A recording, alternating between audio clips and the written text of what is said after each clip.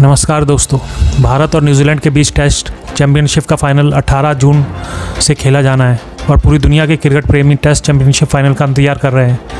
Cricket प्रेमी अपनी अपनी पसंदीदा टीम और खिलाड़ियों के आधार पर अपना फेवरेट चुन रहे हैं। भारतीय क्रिकेट प्रेमी ज़ाहिर तौर पर भारत को फाइनल जीतते देखना चाहते हैं। लेकिन ऑस्ट्रेलिया के खेल पत्रकार सिर्फ़ भारत को इसलिए हारते हुए देखना चाहते हैं क्योंकि भारत की हार से हिंदू दुखी हो जाएगा। यानी ऑस्ट्रेलियाई पत्रकार ने क्रिकेट की पिच पर भी सांप्रदायिकता फैलानी शुरू कर दी है। लेकिन हद यह है कि ट्विटर ने ऑस्ट्रेलियाई पत्रकार के सांप्रदायिक और घृणा फैलाने वाला ट्वीट पर कोई एक्शन नहीं लिया है। ऑस्ट्रेलिया के इस पत्रकार का बाकायदा ट्विटर ने ब्लू टिक भी दे रखा है।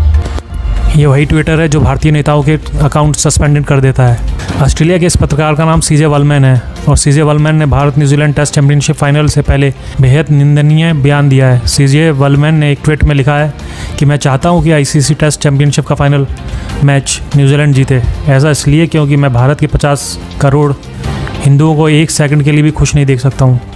हिंदुओं के खुश होने पर मैं असहज महसूस करता हूँ।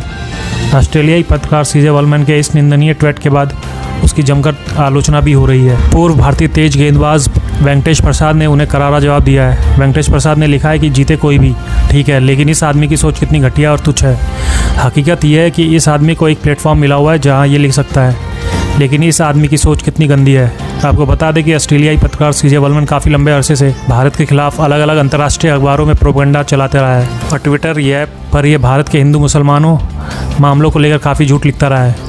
सीजे वलमैन ने द ट्रिब्यून बाईलाइन टाइम्स और इनसाइड अरेबिया जैसे अखबारों के लिए लेख लिखता है। वहाँ वो हिंदुओं के खिलाफ नफरत फैलाने के लिए कुख्यात है? सीजे वलमैन अपने आप को इस्लामोफोबिया एक्टिविस्ट बताता है और ये कई बार हमारे प्रधानमंत्री नरेंद्र मोदी का ट्विटर अकाउंट सस्पेंड करने की मांग कर चुका है। इसके साथ ही सीजे वलमैन कश्मीरी पंडितों पर हुए नरसंहार को भी एक काल्पनिक कहानी मानता है। हालाँकि क्रिकेट को लेकर किए गए इसके ट्वीट को लेकर भारतीय मुसलमानों ने इसकी काफ़ी आलोचना की है।